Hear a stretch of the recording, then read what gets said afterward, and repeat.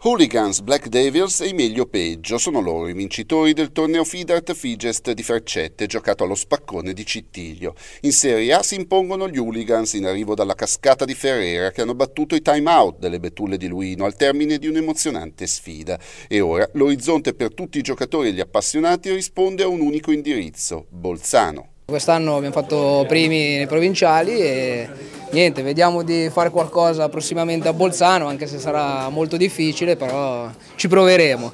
Onore delle armi ai secondi classificati. Speriamo di arrivare almeno alla domenica per fare le finali. Non è facile perché il livello è parecchio alto, però dai, proviamo, dai.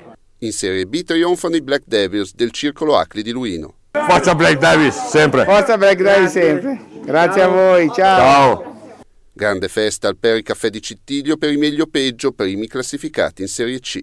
È stato un campionato bello, duro, appassionato, una finale molto intensa e faccio i complimenti ai miei avversari, le frecce per caso di Ponte Tresa che hanno fatto una grande grande finale, finalmente siamo riusciti a vincere questo trofeo che l'anno scorso abbiamo sfiorato e siamo contenti. In scena anche i Frecce per caso, gli Smile Darts di Lavena Ponte Trese, il Riarma Caffè di Caravate, gli Intelligenti di Cittiglio, i No Stress di Marchirolo.